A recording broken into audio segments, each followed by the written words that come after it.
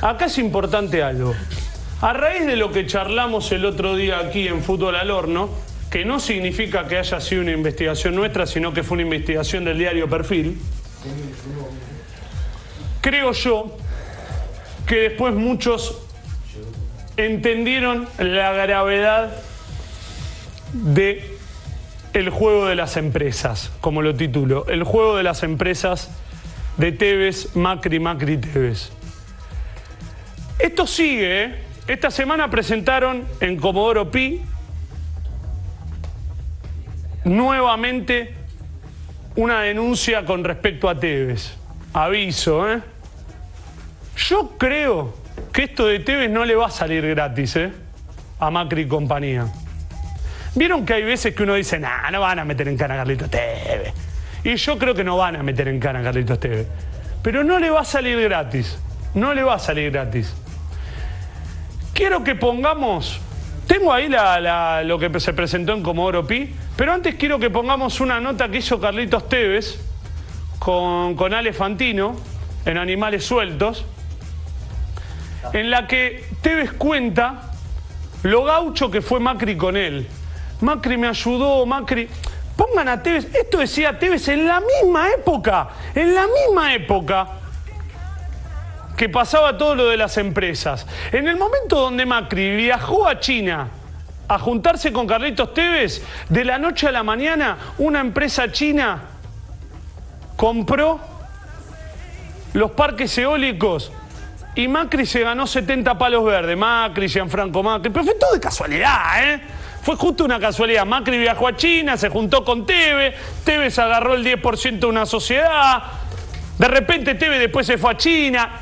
Todo de cazuela, ¿eh? De pedo. Capaz que un día te levantás y te ganas 70 palos verdes a vos que está del otro lado. Esto decía Carlitos Tevez con Ale Fantino en Animales Sueltos.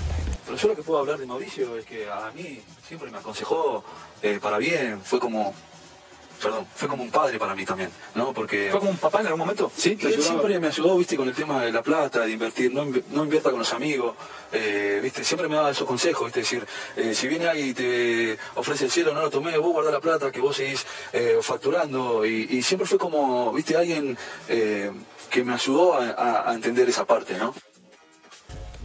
Claro. Claro, que te ayudó a entender algo que vos no sabías, que es, mira Carlito, Acá no hay licitación, no hay una mierda.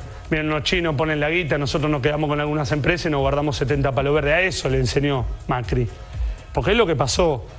Carlitos TV lo cuenta como para que a nosotros nos dé ternura. Mirá, bueno, lo ayudó él que viene de, de, la villa, recibió la ayuda de un tipo que le enseñó a cuidar la plata, y vos te lo tomabas en ese momento, yo no, porque no le creo nada ni a Teve ni a Macri, pero algún otro podría decir, y bueno, está bien, mirá qué gaucho Macri, cómo se preocupó por Teve, sí, con la plata de todos nosotros, sin licitaciones, pero no pasa nada, no pasa nada. Repito, si esto hubiese pasado con el gobierno anterior, ponele que el kirchnerismo hubiese hecho negocio con el 9 de River, tirame el 9 de River, no sé, con Alario o con Cabenagui. Con Fabián. A Cabenagui hoy le rompen las puertas de su casa, le buscan una bóveda y si pueden eh, le practican sexo a, la hermana.